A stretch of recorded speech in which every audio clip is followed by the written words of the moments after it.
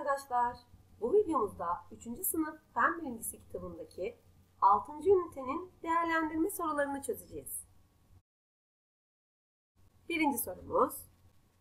Erişkin oluncaya kadar büyür. Erişkin olduktan sonra büyümesi durur. Besinini diğer canlılardan sağlar. Bu özellikler aşağıdaki hangi canlıya ait olabilir?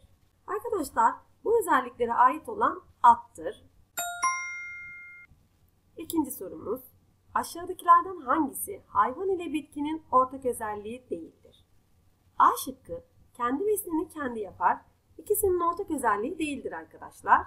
Diğer şıklarımıza da bakalım. B şıkkı boşaltım yapar. İkisinin de ortak özelliğidir. C şıkkı hareket eder. İkisinin de ortak özelliğidir. Cevabımız A şıkkıdır. Üçüncü soru. Aşağıdakilerden hangisi doğal çevrede yaşamaktadır? A şıkkı kafesteki kuş. Arkadaşlar kafesteki kuş yapay bir çevrede yaşamaktadır. B şıkkı akvaryumda balık. Akvaryumun içindeki balık yapay bir çevrede yaşamaktadır. C şıkkı ormanda aslan. Aslan ormandayken doğal bir çevrenin içinde yaşamaktadır. Cevabımız C şıkkıdır. Dördüncü soru. Yukarıdakilerden hangileri çevreye zarar verir? Birinci ifademiz çevreye atılan çöpler ve piller bu zarar verir arkadaşlar. Parfüm ve deodorantlar bunlar da zarar verir. Araba, ev ve fabrikadan çıkan dumanlar bunlar da zarar verir arkadaşlar. Kaç tanesi zarar verirdi? Hepsi zarar veriyor. Cevabımız A. Beşinci soru. Aşağıdakilerden hangisi tükenir kaynaklardan değildir? A şıkkı kömür. Arkadaşlar kömür tükenir kaynaklar örnektir. B şıkkı güneş. Güneş tükenir kaynaklardan değildir arkadaşlar. C şıkkına da bakalım. Su tükenir kaynaklardandır. Bize tükenir kaynaklardan olmayanı sormuştu. Cevabımız B şıkkı. Altıncı soru. Yeliz. Bazı atıklar doğada çok uzun süre kalır. Aşağıdakilerden hangisi en kısa sürede doğaya karışır? A şıkkı pil. Arkadaşlar pil kısa sürede doğaya karışmaz. B şıkkı pet şişe. Pet şişe de kısa sürede doğaya karışmaz. C şıkkı yiyecek atıkları. Yiyecek atıkları kısa sürede doğaya karışır arkadaşlar. Cevabımız C şıkkıdır. Yedinci soru. Doğal ve yapay çevre ile ilgili hangisi yanlıştır? A şıkkı yapay çevre insanlar tarafından yapılmış ya da değiştirilmiştir. Bu ifademiz doğrudur arkadaşlar. B şıkkı yapay çevre doğada var olan çevredir. Bu ifademiz yanlıştır arkadaşlar. Yapay çevre doğada var olan değil, insanlar tarafından yapılandır. C şıkkına da bakalım. Yapay çevre insanların ihtiyaçları doğrultusunda yapılmıştır. Bu ifademiz de doğrudur arkadaşlar. Cevabımız B şıkkıdır. 8. soru. Arda. Arda Fen Bilimleri dersinde sunum yapmak için yukarıdaki resimleri hazırladı. Arda'nın sunumunun konusu ne olabilir? Resimlere bakalım. Baca dumanı, fabrika dumanı ve egzoz dumanı. A şıkkı hava kirliliği, B şıkkı su kirliliği, C şıkkı toprak kirliliği. Resimlerden anlayacağımız üzere arkadaşlar cevabımız hava kirliliğidir. 9. soru.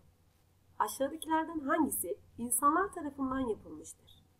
A şıkkı doğal anıtlar. Doğal anıtlar insanlar tarafından değil, kendiliğinden oluşmuşlardır arkadaşlar.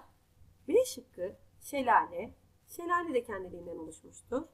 C şıkkı barajlar. Barajlar insanlar tarafından yapılan yapay çevre örnektir. Cevabımız C şıkkı. 10. soru. Sabri. Canlılar 7 ortak özellik gösterir. Hangisi canlıların ortak özelliği değildir? A şıkkı büyüme. Büyüme canlıların ortak özelliğidir arkadaşlar. B şıkkı solunum yapma. Solunum yapma da canlıların ortak özelliğidir. C şıkkı yürüme. Yürüme her canlı için geçerli bir özellik değildir arkadaşlar. Cevabımız C şıkkıdır. 11. soru. Aşağıdakilerden hangisi cansızdır? A şıkkı mantar. Mantar canlı bir varlıktır arkadaşlar. B şıkkı taş. Taş cansız bir varlıktır arkadaşlar. C şıkkına da bakalım. Çimen, çimen de canlı bir varlıktır arkadaşlar. Bitki örnektir. Cevabımız B şıkkıdır. 12. soru. Aşağıdakilerden hangisi canlıdır? A şıkkı güneş. Güneş cansız varlıklar örnektir. B şıkkı su. Su cansız varlıklar örnektir. C şıkkı kardelen. Kardelen canlı varlıklar örnektir arkadaşlar. Bir bitki türüdür. Cevabımız C'dir. 13. soru. Yukarıdaki ifadelerden kaç tanesi doğrudur? Birinci ifademiz bitkiler hareket etmezler. Bu yanlıştır arkadaşlar. Diğer ifademiz toprak canlı bir varlıktır. Bu ifade de yanlıştır arkadaşlar. Diğer ifademiz su cansız bir varlıktır. Bu ifademiz doğrudur. Bize kaç tanesi doğrudur diye sormuştu. Bir tanesi doğrudur. Cevabımız A şıkkıdır. 14. soru. Oğuzhan. Bitkiler, hayvanlar, hava, su, toprak. Oğuzhan'ın ifade ettiği varlıklardan kaç tanesi canlıdır? Arkadaşlar bitkiler canlı varlıklar örnektir. Hayvanlar da canlı varlıklar örnektir. Hava, su, toprak cansız varlıklar örnektir. Bize canlı varlıkları sormuştu. Bitkiler ve hayvanlar olmak üzere iki tanedir. Cevabımız B şıkkıdır. 15. soru. Aşağıdakilerden hangisi doğal çevrenin kirlenmesine sebep olmaz? A şıkkı plastik poşetlerin toprağa karışması. Plastik poşetlerin toprağa karışması doğal çevrenin kirlenmesine sebep olur arkadaşlar. B şıkkı sonbaharda ağaçların yapraklarının toprağa karışması. Sonbahardaki ağaçların yapraklarının toprağa karışması çevre kirliliğine sebep olmaz arkadaşlar. C şıkkımıza da bakalım. Çöplerden sızan suların toprağa karışması. Bu ifademizde doğal çevrenin kirlenmesine sebep olur arkadaşlar. Bize sorumuzda sebep olmayanı sormuştu. Cevabımız D şıkkıdır. 16. soru. Melisa. Dişlerimi fırçalarken suyu açık bırakmam. Melisa için hangisi söylenemez? A şıkkı suyun önemini biliyor. Bu ifade doğrudur arkadaşlar. Çünkü suyu açık bırakmıyor. B şıkkı suyu israf ediyor. Bu ifademiz söylenemez arkadaşlar. Çünkü dişlerini fırçalarken suyu açık bırakmam diyor. C şıkkına da bakalım. Suyu tasarruflu kullanıyor. Bu ifademiz de doğrudur arkadaşlar. Hangisi söylenemez olanı sormuştu. Cevabımız B şıkkıdır. 17. soru.